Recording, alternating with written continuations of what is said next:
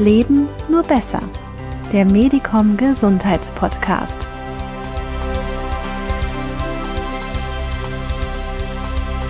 Gut, ich darf Herrn Magister Bernhard Penz bei uns im Medicom Podcast begrüßen. Schönen guten Morgen, Herr Penz. Schön, dass Sie Zeit für uns haben. Herr Penz ist klinischer Psychologe, Gesundheitspsychologe, Notfallpsychologe und auch Militärpsychologe. Und ich freue mich sehr, dass er mit mir heute zum Thema herausfordernde Situationen, Ängste und den Umgang mit Krisensituationen sprechen wird. Ja, guten Morgen. Schöne Grüße auch von meiner Seite an Sie und an Sie alle. Dankeschön. Herr Magister Penz, zum Ersten würde ich ganz gern wissen, wie Sie als Psychologe, wie sie, wie eine Krise oder herausfordernde Situation definiert wird oder wann würde man sagen, man befindet sich in einer, in einer Krisensituation? Also eine Krisen, unter einer Krisensituation oder äh, für Menschen verstehen wir eine Situation, wenn die Lösung des Problems oder eine bestimmte Situation die gewohnten Problemlösungsstrategien einer Person nicht mehr oder, oder nur mehr eingeschränkt zur Verfügung stehen. Und die eigenen Bewältigungsstrategien nicht unmittelbar zur Verfügung stehen. Dann entstehen Krisensituationen. Also wenn der Ausgleich zwischen der Schwierigkeit der Problemstellung und der Verfügbarkeit von Lösungsmöglichkeiten nicht mehr gegeben ist, dann kommen wir als Mensch einfach in eine schwierige Situation, die dann zu einer Problemstellung oder zu einer Krise, wenn das also die Verhältnismäßigkeit größer ist, dann kommt es zu einer Krise. Also man steckt irgendwie gewissermaßen fest. Man es kann nicht mehr irgendwie sich selbst rausfischen. Was wäre so eine erste Möglichkeit, damit umzugehen? Man muss das ja vielleicht auch erstmal erkennen, dass man feststeckt oder dass die Ressourcen nicht mehr gleich zur Verfügung stehen. Genau, also das ist, äh, denke ich mal, äh, für einen selber einfach wichtig, kann ganz kurz innezuhalten und sagen, hey, was ist denn jetzt? Was ist da los mit mir? Und was spielt sich jetzt eigentlich ab? Und wenn ich das einmal für mich auch, das kann man in verschiedenen Situationen vielleicht sogar antrainieren. Sie können sich vielleicht vorstellen, dass zum Beispiel Piloten oder Ärzte, wenn sie in einen, ein, in, vor eine Operation gehen oder in solchen Situationen, dann findet immer ein Check statt. Mhm. Das heißt, man geht also von ganz klaren Strukturen und bestimmten Procedures aus, an denen man feststellen kann, was funktioniert und was funktioniert nicht. Die Problemstellung oft ist, dass man zu schnell einfach sich selbst noch in diese schwierige Situation oder in ein Problem hineinmanövriert. Ist vielleicht so zu verstehen, wenn man jetzt Tiroler ist, das wie ich, und denkt, okay, wir fahren mit dem Auto und es ist zu viel Schnee auf der Fahrbahn und ich bleibe, ich laufe Gefahr, stecken zu bleiben, dann ist die natürliche Reaktion, mehr Gas zu geben. Und das ist genau das Falsche. Und was runter vom Gas, darüber nachzudenken, was könnte jetzt gehen, was könnte jetzt helfen, was könnte für Hilfsmittel anwenden, um aus dieser Situation wieder rauszukommen. Vielleicht ist das Beispiel auch Blum, aber ich denke, in der im täglichen Leben sind wir öfter in solchen Situationen, wo wir dann einfach sehr schnell schauen müssen, wie können wir da wieder rauskommen. Ja, ich finde das ganz toll. Ich finde das äh, sehr greifbar eigentlich. Es ist ja auch so, dass, ähm, dass einem der Körper ja ganz deutliche Reaktionen auch gibt, so sogenannte somatische Marker. Man hat einmal vielleicht ein bisschen Bauchweh oder man hat Herzklopfen oder was weiß ich, dass man dann vielleicht auch sagt, aha, da, da ist jetzt was und jetzt schaue ich mal und nehme mehr Zeit. Ist es denn nicht auch so, dass wir vielleicht aufgrund der eigenen Geschichte, die wir haben, haben. Sie, die ist ja sehr individuell, auch sehr unterschiedlich auf herausfordernde Situationen reagieren? Absolut, absolut. Und je mehr, je mehr wir solche Situationen erlebt haben, äh, umso unter Anführungszeichen vielleicht krisenfester werden wir auch. Das kann die positive Variante sein, die negative Variante. Wir könnten an solchen Krisen, wenn wir dann traumatische Krisen erleben, auch erkranken. Aber in vielen Bereichen können wir an solchen Krisen einfach auch wachsen. Und dieses Wachsen kann man vielleicht auch, weil Sie vorher die körperlichen Gefühle angesprochen haben, vielleicht daran messen, an dem sogenannten Bauchgefühl. Mhm. Das Bauchgefühl, über das Bauchgefühl ist uns ja nicht angeboren, sondern wir haben im Laufe der Zeit und unserer Sozialisierung gelernt, mit bestimmten Situationen einzuschätzen, zu bewältigen oder vielleicht auch Gefahren zu erkennen. Und das sagt uns dann das Bauchgefühl. Es sagt, hoppla, aufpassen, da ist jetzt etwas. Und genauso, wenn ich also so etwas merke, da ist es auch körperlich die Notwendigkeit oder die Hilfestellung anzuhalten, innezuhalten, durchzuatmen, langsam zu atmen, um wieder in die Schaltzentrale zu gelangen und nicht von den Emotionen überwältigt zu werden und dann Hilfestellungen zu kriegen, um ein Problem möglichst gut bewältigen zu können. Also das Entscheidende, darf ich noch ganz kurz sagen, ist von den Emotionen, die jetzt natürlich in der ersten Situation kommen, möglichst rasch wegzukommen zu den Kognitionen und die Kognitionen befähigen uns dann wieder bestimmte Situationen zu bewältigen. Ja, das finde ich wunderschön, weil diese Emotionen, also dieses Gefühl, ist ja erst einmal wirklich eine Reaktion vom Körper, die vielleicht auch daher kommt, von unserer eigenen Überlebensstrategie oder von unserem Überlebensinstinkt. Die Interpretation macht es dann zu einer Emotion, glaube ich, zu einem Gefühl, das eventuell dann zu dieser negativen Spirale führen kann. Und diesen Übergang zu schaffen und dann zu sagen, okay, ich habe jetzt ein Signal, das finde ich wichtig für mich aber was mache ich damit? Ähm, wie gehe ich damit um? Ich brauche einfach mehr Zeit, um eine Entscheidung zu treffen. Und äh, daraus kommt dann vielleicht auch eben diese Möglichkeit zu wachsen oder diese herausfordernde Situation eigentlich in eine positive Erfahrung umzuwandeln. Äh, wir wissen natürlich, dass wir jetzt im Moment auch alle in einer wir befinden uns alle in der gleichen herausfordernden Situation. Wir sind mehr zu Hause, wir müssen uns mehr mit uns selbst beschäftigen. Wir wissen nicht so genau, was auf uns zukommt. Für viele Menschen ist es sehr herausfordernd, vermutlich auch aufgrund eines gewissen Informationsüberflusses. Äh, neue Technologien und soziale Medien äh, machen natürlich auch neugierig darauf, ständig zu erfahren, was passiert. Aber wie ist Ihre Einschätzung? Ist es so gut für uns, dass wir uns ständig informieren? Ich denke, das ist ein zweischneidiges Schwert. Da muss man beide Seiten gut beachten. Also auf der einen Seite sind diese neuen Technologien äh, in der momentanen Situation ja fast ein Segen, weil wir, so wie wir jetzt miteinander uns unterhalten können, weil viele Informationen wirklich weitergetragen werden können. Wenn Sie jetzt allein die öffentlichen Sender anschauen, die jetzt alle unter Quarantäne zum Beispiel sind, aber trotzdem mit uns kommunizieren können. Äh, wir können uns weltweit unterhalten. Also wäre das oder diese Krise vielleicht vor 20 Jahren hätten wir diese Möglichkeit alle nicht zur Verfügung gehabt. Mhm. Also das ist der absolut positive Aspekt.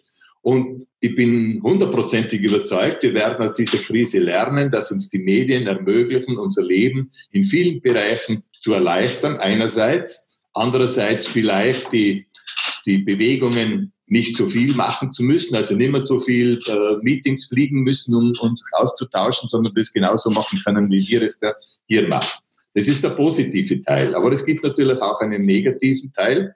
Und der negative Teil ist der, sich dauernd ins Netz hängen zu müssen, an den Geräten hängen zu müssen, einfach um äh, möglichst alles immer zu erfahren. Und das ist aus meiner Sicht absolut der Nachteil, weil ich, ich tauche dann in eine virtuelle Welt ein und kann mich nicht mehr im Hier und Jetzt finden. Und deshalb ist es aus meiner Sicht ganz entscheidend und wichtig, ja, die, die Medien zu nutzen, aber sehr kontrolliert und zu bestimmten Zwecken.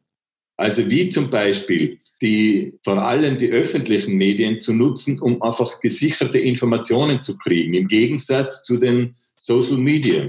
Die haben zwar den Vorteil, in Kontakt sein zu können, aber es kommt auch ganz viel Desinformation, die eigentlich dann nur dazu beiträgt, die Problemstellungen zu erhöhen, weil ich auf diese Informationen nicht reagieren kann. Die kriege ich einfach und habe aber keine Kontrollmöglichkeit und kann mir auch nicht diese Kontrolle von irgendwo herholen, während ich von öffentlichen Medien wie jetzt äh, Rundfunk und Fernsehen und so, die sind einfach gesichert und man kann davon ausgehen, dass diese Informationen, die wir von dort kriegen, uns helfen, den Alltag zu gestalten und Perspektiven zu entwickeln. In den Social Media ist es zum Teil einfach nicht gegeben und tragen sehr zur Verunsicherung bei. Einerseits ja, unbedingt die öffentlichen Medien zu hören und zu schauen und die sozialen Medien oder das, was wir jetzt auch miteinander tun, unbedingt auch nutzen, um zum Beispiel so Sozialkontakte aufrechtzuerhalten. Das ist absolut okay und gescheit, aber nicht immer und jederzeit. Aber es macht vielleicht Sinn, einmal am Tag oder, oder zweimal so, wenn man halt sonst sich auf den Café trifft, einfach auch hier sich mit den Eltern, mit den, mit den Angehörigen, mit Freunden in diesem sozialen Medienraum treffen, sich austauschen, aber dann soll es wieder genug sein. Ja, ich finde auch, dass man da vielleicht einen ähnlichen Faktencheck machen könnte, wie, wie der Arzt, bevor er in den OP geht, wie der Pilot, wie wir, wenn wir selber uns beobachten, wie wir auf eine Sache reagieren. Und dass man dann auch wirklich das deckelt und dass man in diesem sozialen Gespräch, in dem Kontakt, den wir jetzt auch haben, dass man auch vielleicht nicht immer nur ein und dasselbe Thema nimmt, sondern dass man auch wirklich andere Dinge bespricht und die Dinge so handhabt, wie man es vorher im Alltag gewohnt war. Da möchte ich einfach auch nochmal dazu sagen, dass es, glaube ich, ganz wichtig ist, dass man sich für sich auch selber schaut, mit wem kann ich mich und will ich mich denn jetzt treffen. Es kann ja auch sein, dass ich oft weiß, dass mit einer bestimmten Person und einer bestimmten Gruppe immer ein bestimmtes Thema aufkocht, das mir nachher eigentlich nicht gut tut. Ja, sehr gut. Sehr Deshalb gut. ist es einfach gescheit, sich jene Gesprächspartner oft auszusuchen, äh, die mir gut tun aber dann auch wieder anderen wieder selbst versuchen gut zu tun, so dass man das auch durchaus ein bisschen steuern kann. Weil wenn ich, ich bin ja sonst auch in der Lage, dass ich sage, heute treffe ich mich mit A oder B oder heute habe ich eigentlich keine Lust drauf. Und so könnte man das auch da steuern. Ja, das ist also, ich glaube, das ist sehr wichtig, dass die Menschen, dass jeder weiß, dass er seine eigene Möglichkeit hat zu entscheiden, das tut mir gut und das tut mir nicht gut und dass es die Erlaubnis gibt, Nein zu sagen oder Ja zu sagen zu bestimmten Dingen. Das ist jetzt eine, finde ich, sehr, sehr gute Gelegenheit, die man einfach auch nützen kann. Unbedingt, ja. Ich möchte Sie gerne ansprechen auf Ihre Erfahrungen ähm, in äh, massiven Krisensituationen. Haben Sie Menschen begleitet? Sie waren äh, hilfreich äh, in Thailand beim Tsunami. Es hat ein großes Seilbahnunglück gegeben hier in Österreich vor einigen Jahren. Und sie haben auch Soldaten, die aus dem Tschad zurückkamen, begleitet. Das sind also Menschen gewesen, die wirklich, sie waren für die Einsatzkräfte, glaube ich, zuständig in Thailand. Das sind also Menschen, die tatkräftig geworden sind in einer extrem herausfordernden Situation. Was konnten Sie da beobachten? Also ich glaube, ein ganz wichtiger Punkt ist, äh, Einsatzkräfte dahingehend zu unterstützen, dass sie in ihren Fähigkeiten und Fertigkeiten bleiben können. Das heißt, es ist einerseits ganz wichtig, dafür Sorge zu tragen, dass sie sich körperlich einfach absolut fit halten können, um in einer solchen Situation einfach auch ihren Mann, Frau stellen zu können. Es ist eine gewaltige Belastung und weil diese gewaltige Belastung da ist, ist es hilfreich, jemanden zu haben, der auch Sie in der Situation schaut, weil Sie selbst sind natürlich sehr stark an dem orientiert, was Sie momentan gerade zu tun haben. Deshalb ist es äh, für uns als, jetzt bin ich ja nicht mehr Militärpsychologe, weil ich schon in Pension bin, aber das war sehr stark eine Aufgabe, macht es halt jetzt bei Kriseninterventionskräften oder bei anderen Organisationen. Aber darauf zu schauen, dass Einsatzkräfte und auch Führungskräfte in der Lage bleiben, das zu tun, was sie tun müssen. Und wie machen das fängt an bei der körperlichen Leistungsfähigkeit und äh, fängt aber auch an und hört auf bei der physischen und psychischen Leistungsfähigkeit. Also gerade zum Beispiel rechtzeitig zu schauen, dass die Pausen eingehalten werden, dass nach belastenden Situationen wie zum Beispiel Kaprun oder Galtür oder durchaus auch Tsunami, dass es einen Raum gibt, wo man sich über bestimmte Dinge einfach austauschen kann. Weil die Gefahr ist relativ groß, dass man das Erlebte mit nach Hause nimmt. Und wenn man es mit nach Hause nimmt, muss man sich mit irgendjemandem darüber austauschen, weil es gar nicht anders geht. Und dann werden meistens Angehörige auch zu Betroffenen die aber dann gar nicht helfen können, weil sie mit der Situation erstens diese Rahmenbedingungen nicht kennen, das Umfeld nicht kennen und dadurch eigentlich keine Hilfestellung für die betreffende Person sein kann. Und das ist die Aufgabe von Notfallpsychologen in dem konkreten Fall, ein Forum zu schaffen, einen Raum zu schaffen, wo man sich über das Erlebte austauschen kann, um für sich wieder Sicherheit und Kraft zu kriegen, in neue Aufgaben zu, zu kommen. Gerade Einsatzkräfte haben eine besondere Herausforderung, dass sie, wenn sie an dem Ereignis, das sie erlebt haben, hängen bleiben, mit diesem Resterlebnis in ein neues hereingehen unter Umständen ihnen genau diese Kraft fehlt und diese Energie fehlt, die sie brauchen, um neue Aufgaben zu bewältigen. Also nehmen wir zum Beispiel einen Feuerwehrmann, äh, der hat vor kurzem jemanden aus einem Verkehrsunfall mit der Bergeschere herausgeschnitten. Und er würde jetzt in einen neuen Einsatz gehen und würde sich an diese Bilder erinnern, die er damals gehabt hat. Und die könnten ihn dann in seiner Aufgabenstellung wirklich behindern. Deshalb ist es notwendig, jeden Einsatz nicht nur technisch, planerisch, führungsmäßig nachzubereiten, sondern auch psychologisch nachzubereiten, um wieder voll fit in die nächste Aufgabe zu gehen. Aber ist es denn nicht auch unglaublich beeindruckend, wie hoch die Belastbarkeit eigentlich ist, wenn die Rahmenbedingungen gegeben sind oder wie, wie viel wir eigentlich, wie viel mehr wir können, als wir glauben? Das, ist, das zeigt sich ja jetzt auch in, in, in der momentanen Situation. Es ist ja unglaublich, was alles möglich ist. Äh, nicht nur bei Einsatzkräften, sondern auch bei der, bei der, bei der Bevölkerung. Und da zeigt sich schon immer wieder, dass wenn wir als Menschen gefordert sind, dann können wir Unheimliches leisten. Und die Besonderheit an solchen Ereignissen, das, das ist mir einfach wirklich unheimlich gut in erinnerlich und erinnerlich, wie fantastisch die Menschen auf einmal zusammenhalten, zusammengreifen und das Wir-Gefühl stärken können, während dem allgemeinen Leben momentan das Ich immer sehr stark im Vordergrund gestanden ist. Und allein, wenn man schaut, was jetzt in Österreich, wobei ich mir wieder sagen muss, wir haben ein unheimliches Glück, eben in Österreich leben zu dürfen, weil eben alle so ineinander greifen und sich gegenseitig unterstützen, dass man wirklich sagen kann, jawohl, es gibt ein Wir, in dem Fall ein Team Österreich und das macht enorm stark. Also einerseits das Wissen, da ist jemand, mit dem verstehe ich mich, da ist aber auch jemand, der schaut auf mich. Und wenn ich diese Sicherheit habe und ich habe die notwendigen Mittel, die zur Verfügung stehen, um eine bestimmte Aufgabe zu lösen, dann nennen wir das die sogenannte Kohärenz. Diese Kohärenz kann ich dann wirklich enormes leisten.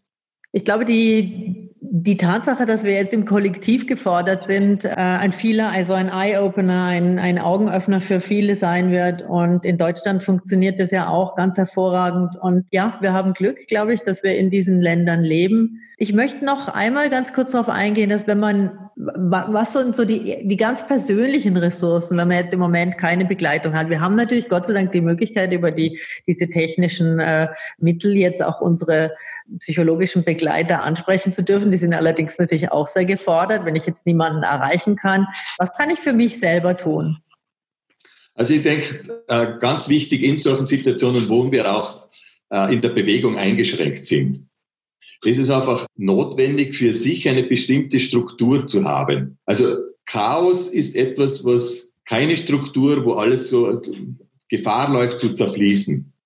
Und das Gegengift ist Struktur. Und diese Struktur kann uns helfen, den Alltag wirklich gut zu bewältigen.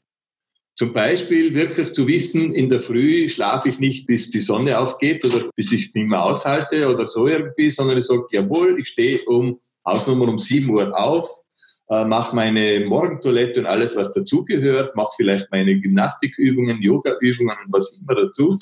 Ich kann hier vielleicht sogar etwas Neues für mich, was ich früher keine Zeit gehabt habe. Jetzt hätte ich vielleicht die Zeit und könnte auch entdecken, wenn ich mit Freunden telefoniere, die erzählen mir das, wenn, ich, wenn sie mich vorher fragen, was soll ich tun, dann sage ich ihnen genau das, was ich ihnen jetzt sage.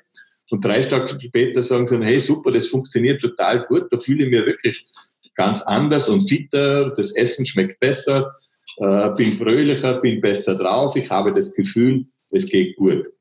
Also Tagesstruktur ist, glaube ich, ganz, ein ganz wichtiger Punkt. Mhm. Es ist aber, glaube ich, ein, ein wichtiger Punkt für sich, Zeiten zu finden, wo ich das tun darf, was ich entweder schon lange einmal tun wollte oder für das ich sonst keine Zeit finde, etwas zu lesen, Musik zu hören, zu meditieren, Yoga zu machen, alles solche Dinge, von denen ich weiß, dass sie mir gut tun, aber bisher keine Zeit gehabt haben.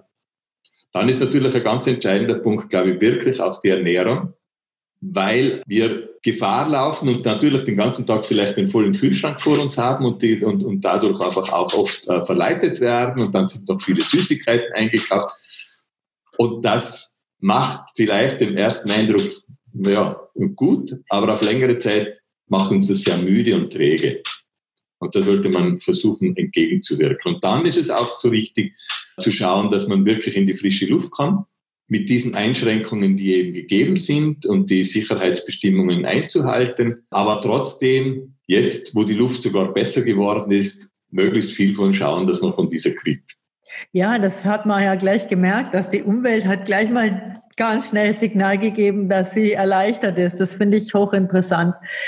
Äh, ich möchte zum Abschluss noch ganz kurz auf den Begriff der Resilienz eingehen, der jetzt ja auch immer wieder schwirrt. Wir müssen auf unsere Resilienz zugreifen. Die schlummert in uns Alten. Aber für viele ist es immer noch so ein, ich weiß eigentlich gar nicht so genau, was das bedeutet. Es kommt, äh, soweit ich weiß, aus der Physik, dieser Begriff, dass ein Gegenstand, wenn er verformt worden ist, wieder seine ursprüngliche Form zurückgewinnen äh, kann. Vielleicht können Sie ein bisschen erklären, was das, was das in Bezug auf den Menschen bedeutet und ob wir alle Zugriff zu dieser Resilienz haben und wenn ja, wie? Also ja, Resilienz ist in aller Munde äh, und will es versuchen, ganz einfach zu erklären. Wenn Sie vielleicht bei Ihnen im, im Garten hinausschauen, dann sehen Sie vielleicht eine Birke. Und eine Birke ist für mich so der Inbegriff von Resilienz. Nämlich insofern, als die Birke schön duftend ein wunderschöner Baum. Wenn drei Birken beieinander stehen, entstehen noch besondere Assoziationen. Und wenn jetzt ein Sturm aufkommt, ein Wind aufkommt, dann biegt sich diese Birke. Und die biegt sich manchmal so stark, dass sie sogar mit dem Wipfel am Boden aufkommt. Aber sie springt wieder zurück in ihre ursprüngliche Form. Und das ist das, was wir unter Resilienz verstehen. Das heißt, eine bestimmte Biegsamkeit, Anpassungsfähigkeit an bestimmte Situationen, ohne dabei unterzugehen. Und das heißt aber auch manchmal einfach nachzugeben und nicht immer genau standhalten zu müssen oder dagegenhalten zu müssen, sondern zum Beispiel, das heißt nicht wie eine Fahne im Wind, sondern wie eine Birke im Wind, sich bewegt, nämlich sich versucht, ihre Kraft und ihr Leben zu erhalten, indem sie sich biegt, mit dem Wind geht und wieder zurückschwimmt. Und das ist das, was wir in unserem Leben versuchen sollten. Wenn Schwierigkeiten, wenn Probleme auf uns zukommen, diese anzupacken, wenn sie nicht packbar sind, dann uns entsprechend vielleicht auch da und dort aus der Situation hinaus zu bewegen aber trotzdem dann wieder zurückzugehen und sagen, ja, hier stehe ich und hier bin ich und ich mache was. Dazu braucht es bestimmte Voraussetzungen äh, und die Voraussetzungen sind einfach im Alltag zu schaffen. Und das ist nichts Neues, immer wieder dasselbe. Physische, psychische Gesundheit, Ernährung, soziales Umfeld, Freunde, gut eingebettet sein, das ist das, was wir unter Resilienz verstehen. Das heißt, wir sind Menschen, die im Becken der Menschen eingebettet sind, und jeder und jede schaut auf sich selbst und auch auf die Gemeinschaft. Und wenn das gut funktioniert, dann können wir wirklich so mit der Natur uns bewegen, resilient sein und auch die größten Krisen gut überstehen. Wunderbar, das ist eigentlich schon ein wunderschönes Schlusswort, Herr Penz. Ich, ich glaube, das können wir wirklich so stehen lassen. Es geht darum, uns gut um uns selbst zu sorgen und somit auch um die anderen uns anzupassen und unsere eigene Form zu erhalten. Also das finde ich wirklich sehr, sehr schön. Ja. Ich bedanke mich sehr herzlich für dieses Gespräch, ich wünsche Ihnen alles Gute und uns allen, auch unseren Hörern, gesund bleiben, gut auf sich schauen, sich anpassen und dann schaffen wir das auch alle gut gemeinsam. Vielen Dank. Dankeschön. Auch Ihnen alles, alles Gute. Ihren Leserinnen und Lesern alles Gute, viel Gesundheit und bleiben Sie gesund.